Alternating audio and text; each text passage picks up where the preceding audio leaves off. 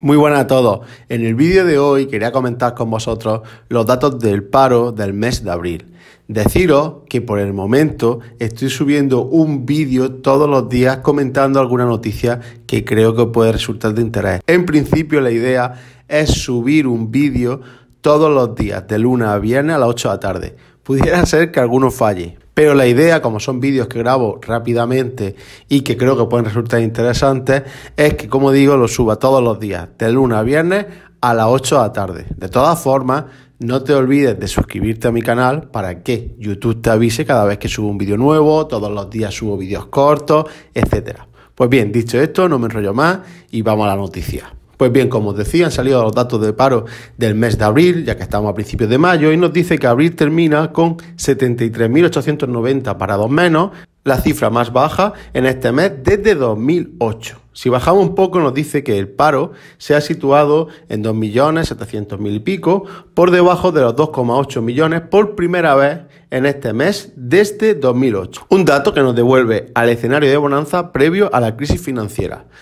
La verdad que os he de reconocer que esto cuando lo he leído me da un poco como de miedo. A ver, yo creo que como todos quiero que baje el paro, pero esto de que estemos en un escenario previo a 2008, que los precios de la vivienda, tanto de compra como de alquiler, no paren de subir, la verdad es que no sé a vosotros, pero los pocos pelos que me quedan se me ponen casi que de punta cuando leo sobre todo esto de antes de la crisis, el escenario previo a la crisis financiera. También hay que decir que entiendo que en abril han bajado los datos de desempleo, entre otras cosas también, por lo que sería la Semana Santa. Pero sí que es verdad que lo que hablamos de 2008 es comparado en lo que sería todos los meses de abril, en el histórico. Sí que es verdad que Semana Santa no siempre en el mes de abril, pero bueno, nos podemos hacer una idea de que en realidad los datos son positivos. Por supuesto, lo que os estoy enseñando es la web de la Seguridad Social. Evidentemente, pues algo de mensaje pro gobierno va a haber aquí, igual que si leyese pues la razón o el mundo, pues me contará los datos de otra forma. Pero sí que nos debemos de quedar de que los datos de desempleo, a pesar del escenario de inflación en el que estamos, pues siguen siendo positivos. Así que relativamente dentro de lo malo, en ese aspecto podemos estar contentos. Luego nos dice que también ha bajado el paro por sexo. Sí que es verdad que ha bajado un poco más en lo que serían los hombres, pero aproximadamente igual hombres y mujeres.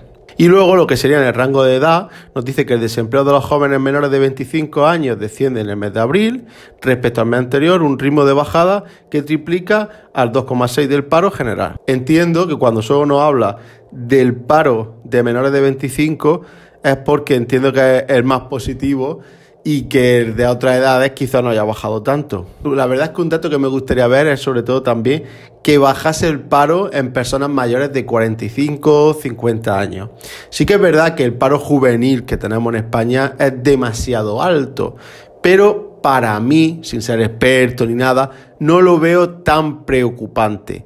Y sí que también deberíamos de poner, creo yo, hincapié en que bajase el paro para personas mayores de 45, 50, 55 años, porque muchas veces me da la sensación de que a ese grupo de personas de esa edad, lo único que se le ofrece, sobre todo cuando ya llegas por encima de los 52 años, es que cobre el subsidio para mayores de 52 años y poco más, pero sí que es verdad que hay bonificaciones para las empresas que contratan a personas de una edad más avanzada, pero aún así se debería de estudiar mucho más ese caso y dar una solución. Porque para mí lo que es que si la solución es solo una ayuda, eh, eso no es solución. Y si bajamos un poco más abajo, nos dice que por comunidades autónomas, que en donde más ha descendido el paro, pues sería en Andalucía, Cataluña y Castilla-La Mancha. Entiendo que en Andalucía, pues volvemos a lo mismo. Se debe sobre todo a la Semana Santa. Además, ha juntado que hemos tenido muy buen tiempo y eso también ha ayudado. Así que entiendo que principalmente el motivo de que sea Andalucía es ese. Desgraciadamente, eh, la verdad es que yo como andaluz eh, me alegro que baje el paro en Andalucía, pero me gustaría que no fuera solo porque es Semana Santa o porque es turismo o alguna cosa así. Me gustaría que no bajase tanto en un mes concreto y que tuviésemos una industria que fuera capaz de emplear a suficiente gente como para que no tuviéramos los datos de desempleo que normalmente tenemos en Andalucía. Pero por el momento creo que casi que eso solo es un sueño y, seguiremos igual, que el paro en Andalucía pues bajará por lo que sería el turismo, la agricultura y quizá la construcción y poco más, pero al fin y al cabo siempre estamos hablando de empleo poco cualificado que al final en crisis financiera siempre va a ser el primero que se destruya. Pero bueno, ¿qué le vamos a hacer? Luego, también un poco más abajo, pues nos habla de lo que sería la contratación. Dice que el número total de contratos registrados durante el mes de abril, pues un millón y pico. En abril de 2023 se registraron 530.000 contratos de trabajo de carácter indefinido, representan el 45,84% de todos los contratos. Vemos que no es demasiado alto este dato, eh, sobre todo teniendo en cuenta que el contrato ordinario es el indefinido, vamos, en mi opinión debería ser más alto este porcentaje, pero volvemos a lo mismo, supongo que es por que este mes en concreto hay mucha contratación temporal, por lo que ya hemos comentado. Porque sí que es verdad que cuando desde el gobierno hablan de que han subido los contratos indefinidos, pues yo lo veo un poco engañoso, porque al fin y al cabo eh, han puesto que el contrato ordinario sea el indefinido. Entonces, ¿cómo no va a ser eh, la mayor contratación, cómo no van a subir los contratos indefinidos si es el contrato ordinario. Entonces, pues quizá lo veo un poco de propaganda.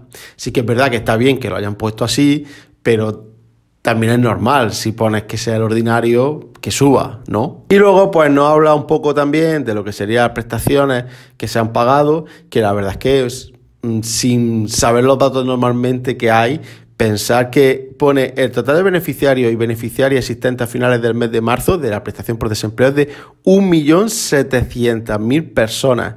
La verdad es que tela la de gente que está cobrando la prestación por desempleo, que evidentemente es porque han cotizado y demás, pero no está mal la cifra. Y nada, básicamente esto es lo que os quería comentar hoy. Como resumen, ya lo hemos comentado varias veces durante el vídeo, pero básicamente pues es un buen dato, pero hay que tener en cuenta pues todo lo que ha sucedido durante el mes de abril. Te recuerdo que este tipo de vídeos con una noticia que creo que os puede resultar interesante, los subiré todos los días de lunes a viernes a las 8 de la tarde. No te olvides de suscribirte a mi canal. Si te resulta interesante el contenido que creo, también puedes darle al botón de unirme y apoyar de manera extra el contenido que creo aquí en mi canal de YouTube.